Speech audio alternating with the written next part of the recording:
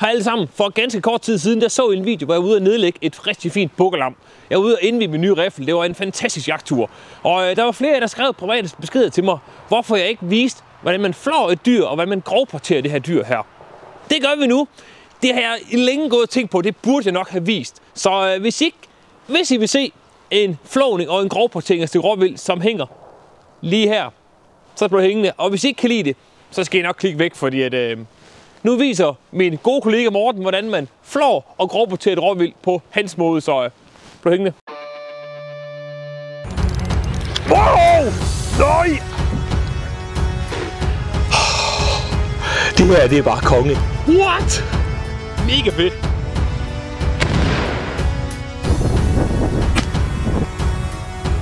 Au, for delen, du ved. Skoven skulle. Wow.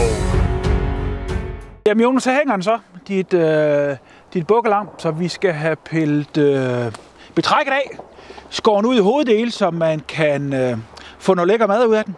Der er rigtig mange måder at gøre det på. Øh, det her det er min. Jeg hænger den altid i hovedet, fordi det kan jeg bedst lige arbejde med. Når vi har den til at hænge ind efter den er skudt, der kan man også se her, der er lige hul her nede bag øh, øh, kildescenen, så har vi den faktisk op og hænge i bagbenene, så køllerne er oppe bag, så det blod inden det størkner, og der er i det, kan, kan rende af køllerne.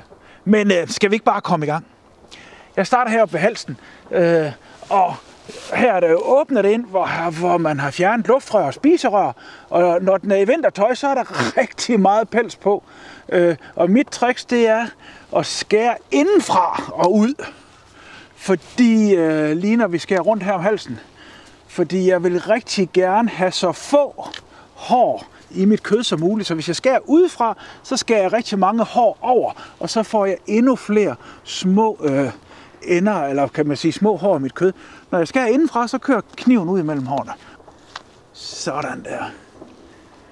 Så fik vi den skåren over. Prøv at se, hvor tyk det her vinterpels det er på den. Kommer lige en så skal vi lige have snittet helt af. Sådan der. Se, så tager jeg lige og snitter pelsen op herud på borgen. Ups, på den ene side. Og tager fat herop igen. Åh, hiver lige så stille. Åh, Dyret har jo hængt siden i, i går morges, så det har Ja, hængt det- et, et døgns tid. så det, Og det er allerede blevet lidt køligt.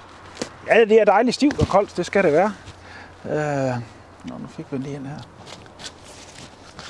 Sådan der. Så kan vi få, få fat i at hive det ned. Øh, den har også levet godt. Der er dejligt godt med fedt på. Den har i hvert fald ikke øh, sultet, selvom der har været øh, lidt... Øh, lidt... Øh, lidt... Ja, jeg vil sige, jeg har ikke fået, fået dyret vejet, men når jeg kigger på det, så er der altså også et rigtig fint bukkelam. Men som jeg også nævnte for jer, så blev det jo også nedlagt tre dage før sæsonen ligesom er slut. Så det er jo også så stort, som det overhovedet kan være. Altså om fire måneder, så vil det her bukkelam jo gå rundt som en årsbuk. Øh, og måske på nedlagt på bukkejagt. Så øh, det er et stort dyr, men vi er også i slutningen af januar måned. Og hvis I kan høre lidt larm i baggrunden, så er det altså fordi, ret tæt på, hvor vi står nu her, der har vi Varder Kaserne, og øh, inde i skoven bag os, der er der en skoleklasse i fuld gang. Så øh, det må jeg lige tage med. Så fik vi pillet forbenene af, og, øh, og, det, og så er det bare hiver, der sidder en lille bitte hende her af kød, og nogen går rigtig meget ud af at få den der millimeter med, men det gør jeg ikke.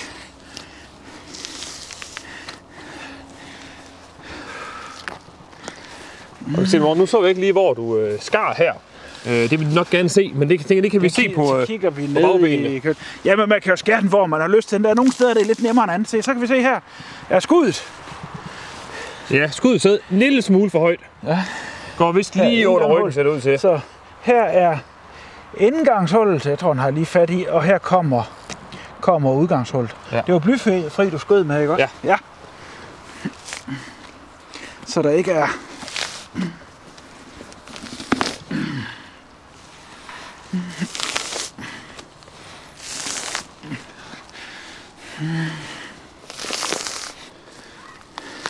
Så jeg igen, der kommer rigtig meget fedt her fra den her.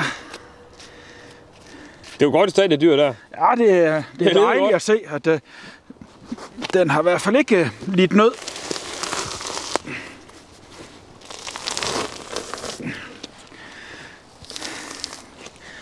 Og så skal jeg bare lige have løsnet det her op i skridtet på den der.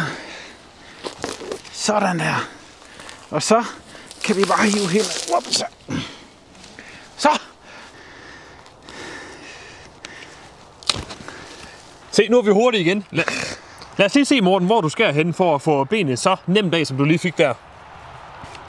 Jamen, der er jo mange, hvor man kan jo skære op helt ned, der sidder det er bare mere sammen. Jeg skærer lige hernede under, man kan næsten se det her, at der er hvid hernede. Og så snitter jeg hele vejen rundt om her. Øh, jeg har fået fortalt, det hedder slagterledet, men jeg er ikke uddannet slagter, øh, så det ved jeg ikke. Og så kan man hov, og nu knækkede det så for langt op. at det er det her, når det, når det er sådan et, et, øh, et lam, så hænger det ikke ret godt fast. Hvis det nu var et stykke kronvildt, hvad hedder det, så skulle man tage lidt mere fast. Men altså, de her små øh, ben, der er på et rålam, de knækker jo på ingen tid. Ja, ja.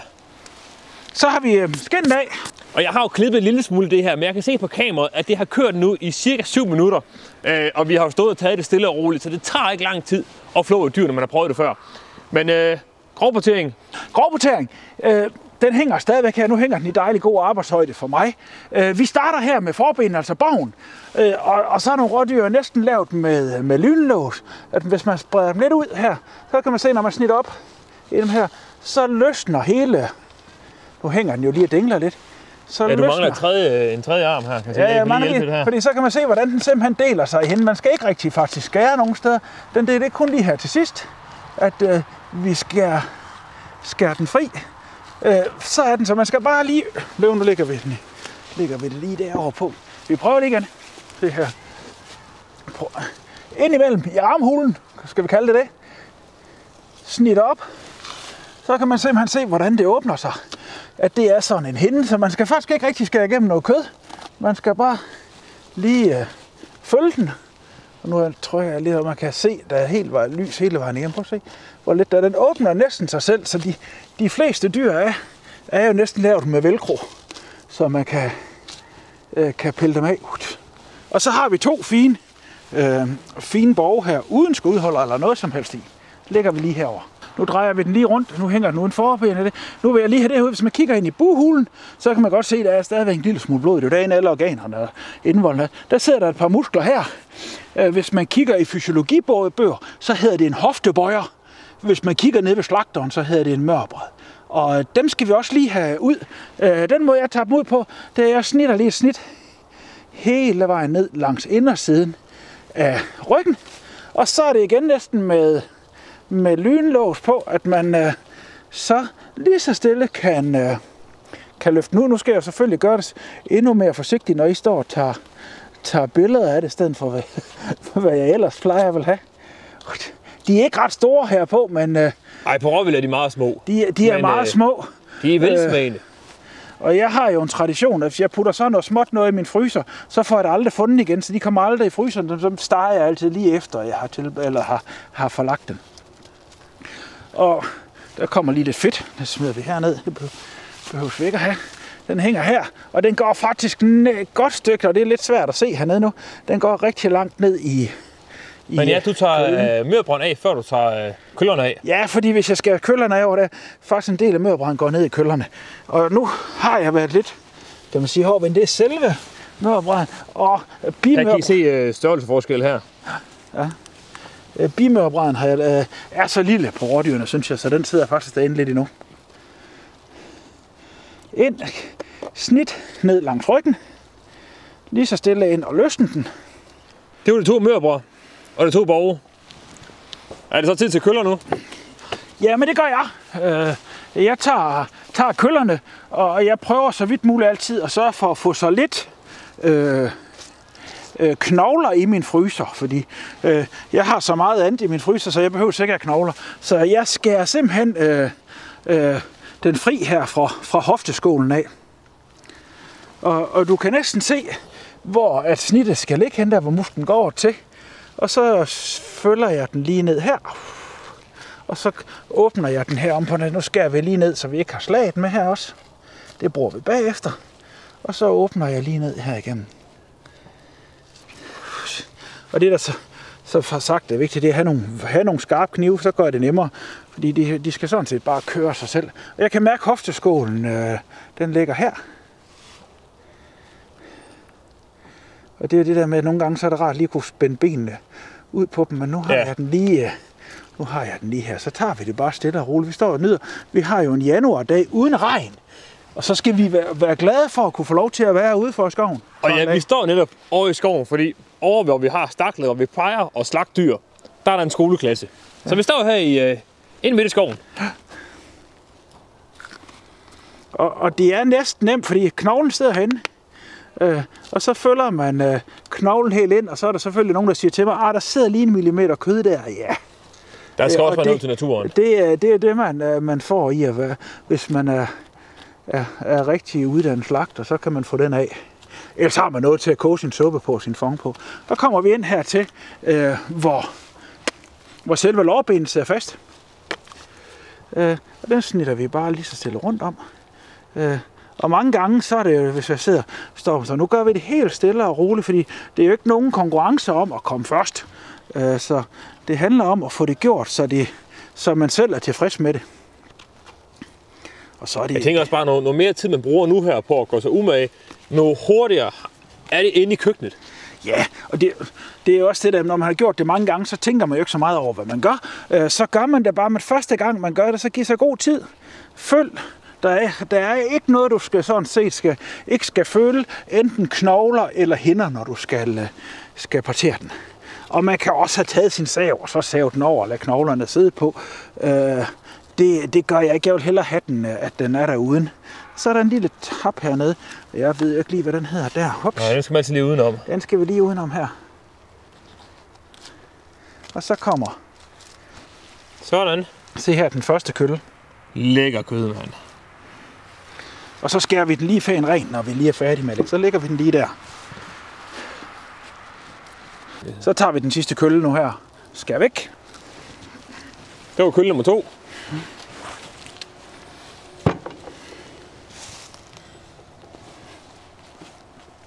Se, så hænger den jo her uden forborg, uden køller. Vi har ryggen, det er sådan set guld for mange, men vi har også alt det, der hænger her. Øh, Og, og der er i hvert fald nogle af jer, der siger, ah, det er så bøvlet, og der er så lidt på. Det er selve slaget. Jeg synes, det er noget, det, jeg er vild med alt det her ukurante kød. For mig her er det enten hakkekød, eller det hedder rullepølse, eller rullesteg. Øh, Og der er mange måder, hvorpå man kan gøre det. Jeg ved, ryggen den side her, den skal vi ikke have fat i. Så jeg skærer lige her hen af. Lige så stille. Whoops. Så kan jeg. Og det var måske nemmere, hvis den, øh, den, øh, den hang nede. Men man kan køre sin kniv, så sidder der lidt kød imellem ribbenene. Øh, og det kan man skære af, og det er en rigtig smart måde, hvor man også kan... få det, det ud på, der er ikke så meget her på de her rådyr. Men sådan en, en rådyr rullepølse, det er bare vildt lækkert. Øh, så går ryggen op her. For ikke at få den med. Det, det tager jeg væk med den her. Sær når den er så pænt skudt, som den er, så får du lige lidt ros. Det er godt. Øh, Der er næsten ingenting, der er gået i stykker her på... Jamen, jeg trækker jo lidt tilbage. Jeg er Ja, kun ja. ikke helt tilfreds med mit skud, så er lige 3 cm højere, end jeg ville. Men øh, Øh, men selve se hele slaget her, det, det er simpelthen øh, perfekt. Se, det sidder her lige stille. Nu tager jeg det lige så stille, for jeg vil ikke have det skåren over. Går vi lige om og gør det samme på den anden side. Se her er udgangshullet, det pusser vi af bagefter. Her går ryggen til. Så når vi ikke rigtig kommer ned i den.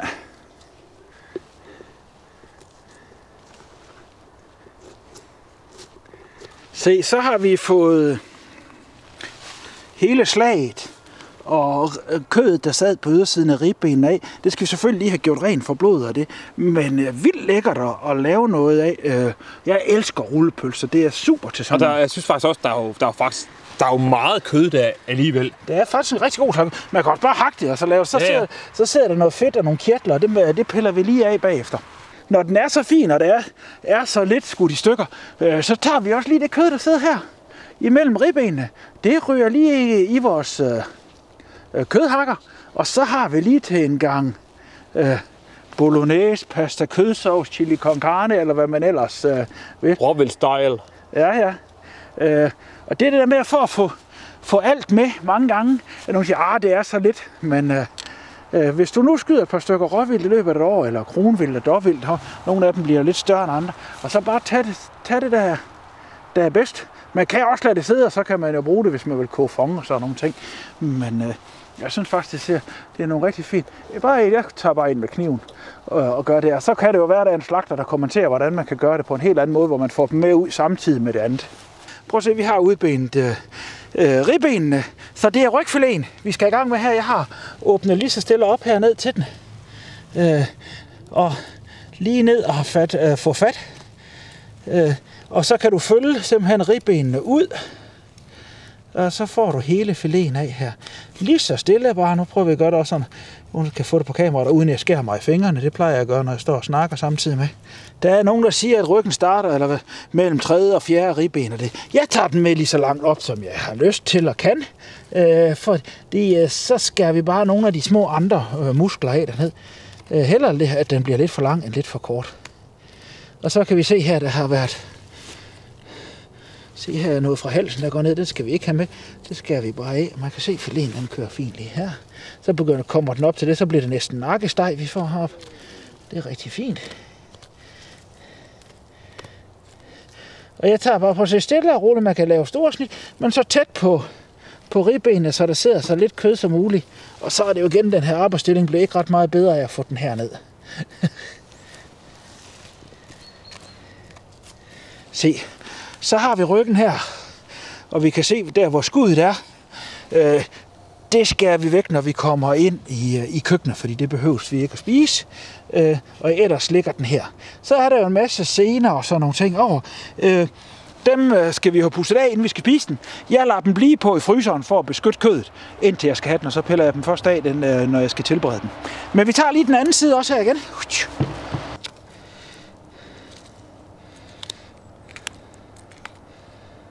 Og så har vi den øh, anden filet. Jamen, vi har næsten taget det hele. Vi mangler halsen. Nogle synes, det er noget bøvl, og hvad kan man bruge en hals til? Jeg elsker halse øh, til, øh, til alt muligt. Jeg synes, det er noget lækker kød. Det skal bare have rigtig lang tid. Øh, her om øh, vinteren, slutningen januar, start februar, var en af mine hofretter brunkål. Så noget i brunkål, eller braseret, eller alt muligt andet med den. Og det er sådan set bare snit ned. Nu har vi lidt kød med her på siden, vi gerne vil have med op. Og så skal vi ind og finde et, øh, et led. Og når det er så et lam, så kan man simpelthen øh, bare brække det. Jeg prøver at save så lidt som muligt for at få så, så få knoglesplinter med. Ja, for vi har overhovedet ikke haft brug. Altså, vi har ikke brugt en sav. Man skal sige. Det, det, er, det er vreden fra hinanden, og så med kniv. Se, ja. Så kommer hele halvstykket der.